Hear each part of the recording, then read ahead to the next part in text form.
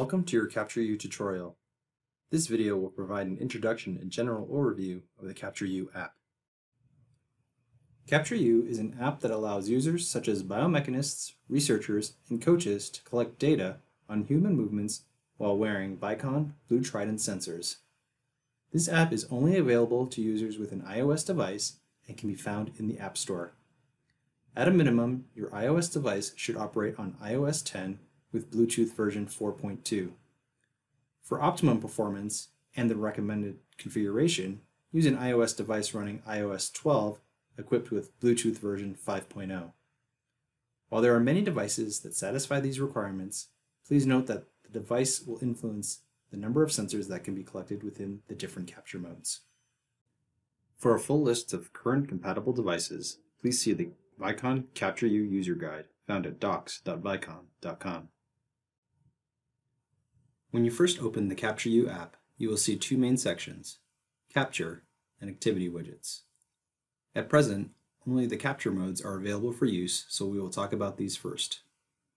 The three capture options are to sensor, to device, and real-time insight.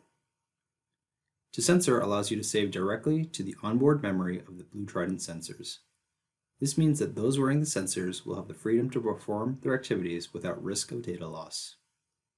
The low G accelerometer and gyroscope capture at 1125 Hz, while the high G captures at 1600 Hz. The magnetometer captures at 100 Hz. This mode is ideal if you want to capture at the highest possible data rate without having to be in proximity of the iOS device.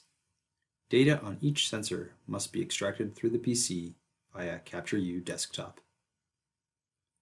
To device allows you to stream data from up to six Blue Trident sensors directly to the iOS device through the Capture CaptureU app. To ensure constant data flow, the sensors must be within proximity of the iOS device. You have the choice of either streaming the high G accelerometer at 800 Hz or the low G accelerometer and gyroscope at 562 Hz. The magnetometer will also record at 100 Hz. Data can be exported directly from the app through any of your device's export options, which could include email, AirDrop, or sending to any other third-party apps such as Dropbox or Slack. This mode is perfect if you need to view or share data quickly. Real-time insight gives you the ability to view a single axis of the accelerometer or gyroscope of up to two sensors in real time and overlay it onto a real-time video. Sensors will record at the same sampling frequencies as the to-device capture mode. That is 800 Hz for the high G accelerometer and 562 Hz for the low G accelerometer and gyroscope.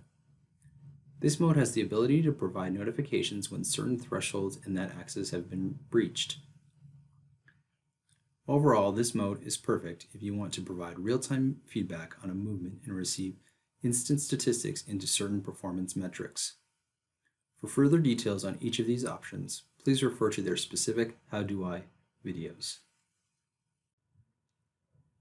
Below the capture options, you'll see activity widgets. These widgets are activity-focused workflows that produce activity-related metrics and are particularly useful in situations where a quick assessment with minimal user setup may be required. This feature is still under development and will be available in a future release, but you can observe a walkthrough by selecting swimming. The idea here is that you can enter a widget, add in a real-time video, select a sensor, and begin recording.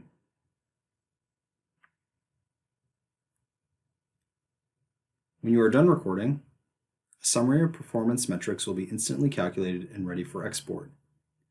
We will showcase these features in more depth when they are released. To bring up the CaptureU app settings menu, click on the cog at the bottom right. The first option is to reset sensors. You may need to do this if, for example, you close out of the app before stopping capture. Click Reset Sensors, then highlight the sensors that you want to reset, and then click Reset Selected. The next option is for help. This will allow you to access our website directly from your device's default web browser. Finally, in the bottom right, you will find useful information such as the app version and the current firmware version for the sensors. Thank you for watching this video. As always, if you have any questions about your hardware or software, please do not hesitate to contact us at support at vicon.com. Please also feel free to check out the links below for additional documentation and videos.